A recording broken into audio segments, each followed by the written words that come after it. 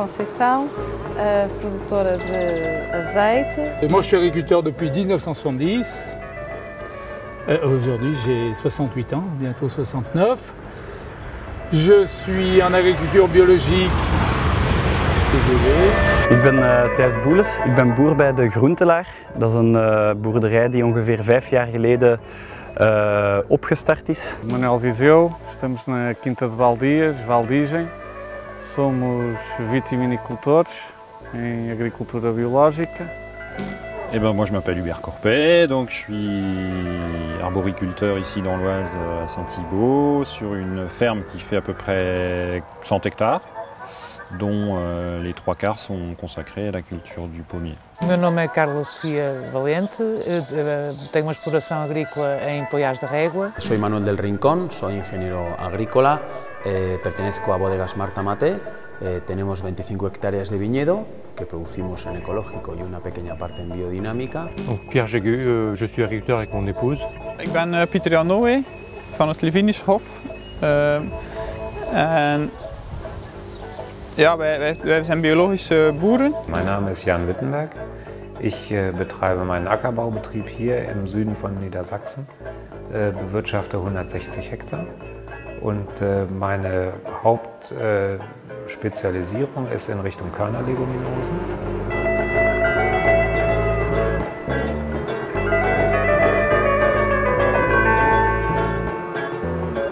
Para combater as ervas, utilizamos apenas meios mecânicos, com a, no nosso caso com a motorroçadora, porque o terreno também é bastante inclinado e só em algumas zonas é que utilizamos o trator, maioritariamente com a roçadora.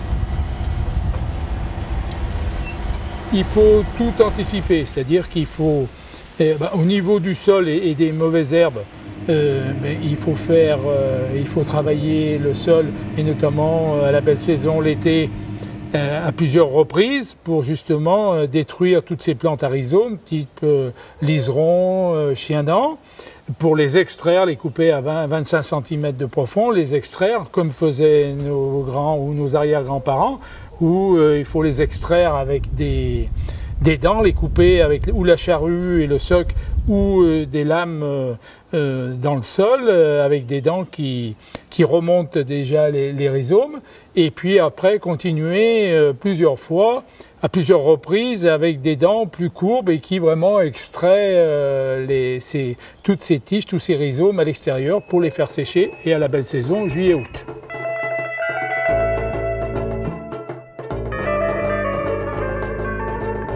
Principalmente por meios mecânicos,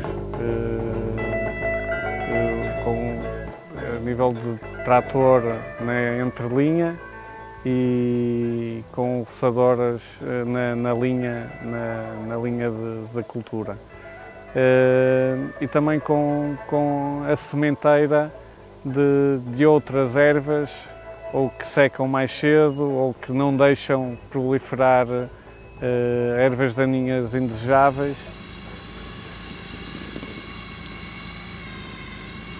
Comme autre solution euh, au désherbage mécanique, on a à partir de l'an dernier introduit des moutons d'une race un peu particulière qui n'a pas pour défaut de, croquer les troncs d'arbres euh, et donc elles entretiennent bien le rang, euh, entre le rang et le rang. Donc l'idée est aussi euh, d'avoir une, interaction avec euh, la lutte contre certaines maladies, la tavure en particulier, et puis aussi une réduction des populations de certains insectes euh, qui sont un peu embêtants pour le verger.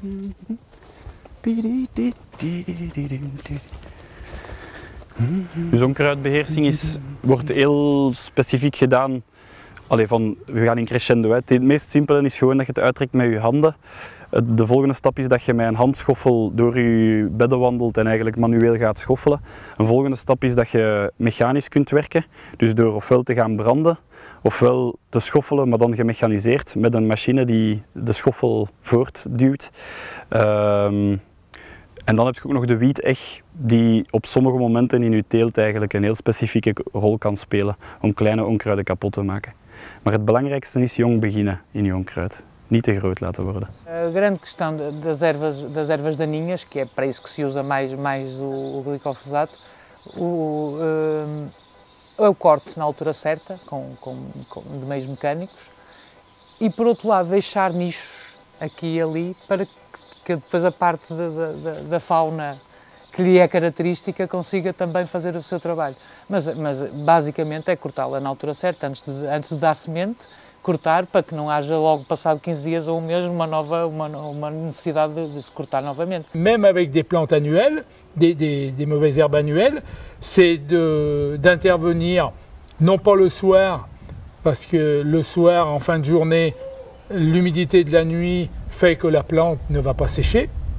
Hein, et, et, au contraire aura tendance euh, euh, à vouloir continuer à vivre. Et, et, donc il faut intervenir le matin, euh, pas trop tôt.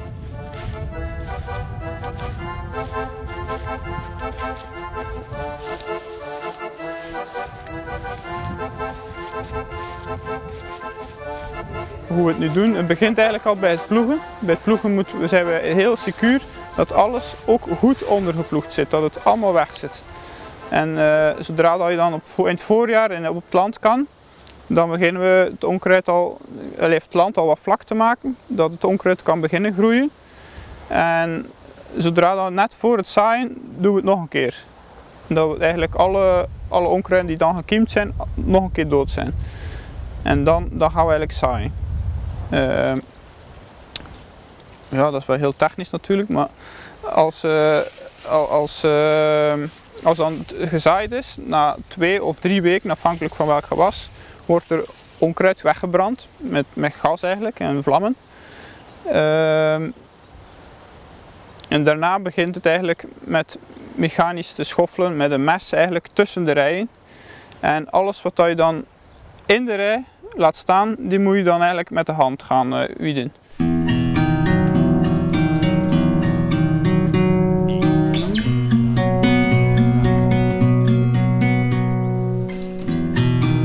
Nuestro caso, para preparar el suelo antes de plantarlo, lo que se hizo es una labor de subsolado, es una labor profunda que consiste en abrir el suelo, sobre todo para eliminar la suela de labor que la maquinaria ha ido creando durante las últimas décadas. ¿verdad? A partir de 30 centímetros hay una suela que si no la eh, eliminas, las raíces no pueden penetrar y te resultaría un poquito difícil llevar el viñedo adelante. Una vez que tienes el viñedo implantado, la maquinaria es muy sencilla. Un tractor pequeño, un tractor viñero de poco peso, en este caso, en nuestro caso con la rueda muy ancha para intentar compactar lo menos posible, un cultivador normal, con una reja normal de golondrina, que digamos limpia la calle principal, y luego un intercepa, que es una reja con un sistema hidráulico que cuando toca en la cepa retrocede hacia atrás y no toca y no se lleva la cepa. Y una vez que ha pasado la cepa vuelve a entrar y elimina esa hierba, con lo cual se elimina toda mecánicamente.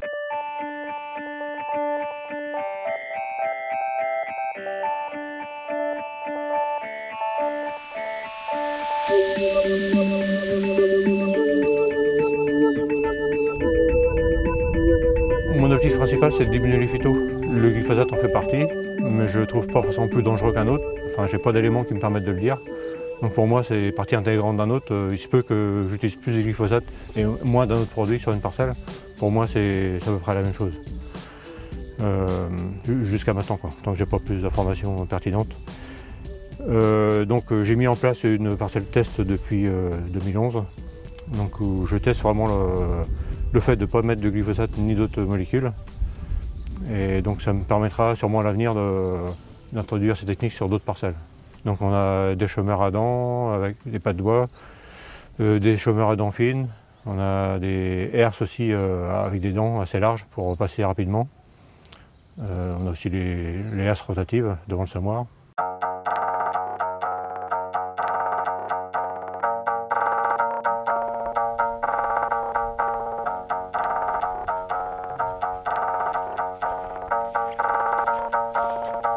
Gut, also unkrautfrei ist vielleicht ein hohes Ziel, was wir nicht immer erreichen, aber wir erreichen einen äh, entsprechenden Wettbewerbsvorteil für unsere Kultur äh, zu, äh, hinzukriegen. Und das schaffen wir in erster Linie durch die richtige Fruchtfolge. Also wir haben äh, hier auf meinem Betrieb eine zehnfeldige Fruchtfolge, wo wir jedes Mal Winterung und Sommerung wechseln und auch jedes Mal Halm- und Blattfrucht sodass auch die entsprechenden Unkräuter sich nicht so sehr äh, an die Verhältnisse gewöhnen. Das ist das eine. Zum anderen setzen wir äh, Technik ein, die uns gerade die Wurzelunkräuter, die auch schwerpunktmäßig mit Glyphosat äh, bekämpft werden sollen, äh, nicht äh, hier über die Maßen sich vermehren. Das ist zum Beispiel äh, unser waagerecht abschneidende, abschneidender Trefflergrubber, der eben nicht Wurzel und Kräuter in viele kleine Teile teilt, sondern sie komplett waagerecht aushebt, dat ze oben vertrocknen. Wij doen inderdaad aan teeltrotatie en bij ons is het één om de, op de, om de zes jaar komt er eigenlijk hetzelfde gewas terug. En in ons geval is het twee jaar grasklaver, dan komen er ajuinen, wortelen, pompoen, aardappelen en na de aardappelen terug de grasklaver. Dan zijn we eigenlijk rond. Además nosotros en una zona importante de la parcela utilizamos tracción animal, utilizamos un caballo, en este caso con un proveedor que nos lo hace, y lo que hacemos es eh, directamente eliminar las hierbas con ese caballo, en la calle y en las líneas. Es más lento, es más costoso, pero sobre todo, sobre todo eliminas la suela de labor. Nos hemos dado cuenta que una vez que eliminamos la suela de labor, el viñedo se expresa infinitamente mejor, la uva tiene una expresión muchísimo más compleja y el vino es muchísimo más complejo y muchísimo mejor, mucho más equilibrado. Da zeigt sich auch so ein bisschen der Unterschied. Im ökologischen Landbau versuchen wir nicht alles auszuräumen außer unserer Kultur, sondern wir haben immer eine gewisse Begleitpflanzengesellschaft da und wollen das auch. Los tratamientos fitosanitarios que nosotros echamos, en este caso en nuestro viñedo, los hacemos con un pulverizador con el que echamos azufres y otro tipo de productos en polvo, bentonitas, etcétera. Y luego tenemos una máquina de, un atomizador para echar los productos en líquido, con los que utilizamos azufres líquidos, canela, en fin, eh, valeriana, todo tipo de productos que utilizamos. Cambiamos con respecto a las necesidades. Als je onkruid wilt de baas kunnen, moet je daarin investeren. Enerzijds tijd, Uh, zowel uw eigen tijd als dat van, van seizoensarbeiders of van collega's. Als uh, qua mechanisatie moet je er je ook op, op instellen. Maar het is vooral dat tijdsaspect dat kostelijk is. Want we moeten er ook naar streven dat we als boeren genoeg, uh, genoeg platte kaas op onze boterham kunnen leggen en kunnen rondkomen. Ehm, en ik kan me inbeelden voor veel gangbare collega's dat dat een enorme stressfactor is. Dus het feit dat ze geen glyfosaat kunnen gebruiken in hun akkerranden geeft voor hun uh, de angst van oei, hoe, hoe werk ik dit? Hoe, hoe, ga ik deze bol werken? En ik denk dat er dan ook gewoon vanuit de Europese Unie uh, daarop moet worden gelet.